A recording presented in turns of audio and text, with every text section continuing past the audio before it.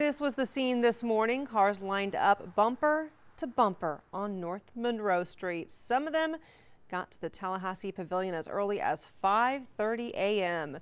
Now that wait in line though was worth it. FarmShare partnered with several local organizations to hand out food, gift cards, clothes, and a whole lot of smiles. Take a look. Traffic build up on Allen Road, they out on North Monroe, they out on John Knox. We know there are a lot of people that are hurting in our community and abroad. So I try to do this to try to help as much as I can. And I'm just thankful this Thanksgiving season and this has just made it a little more happy. I saw it on the news to come out to the pavilion. I was like, yes. We've got um, ham, eggs, broth, potatoes out here today, some of the staples of a good Thanksgiving meal. It is great to be able to help people in need um, from our communities uh, that have food disparities and things of that nature, or folks who just want to come out to get some things to cook up to feed others in their community as well. So we're helping others help others. Hi, happy Thanksgiving! How y'all doing today?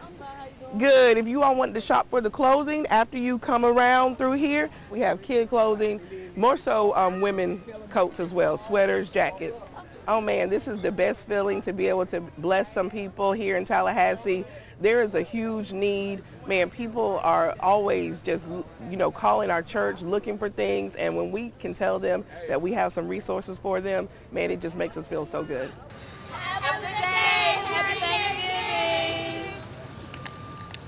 Oh, great. And thanks to the efforts uh, of FarmShare, Project GOO, Destiny Church, Carter's Corner, and Livingstone International, 400 families received food for tomorrow's Thanksgiving dinner. FarmShare is also looking for volunteers. You can visit farmshare.org for more information.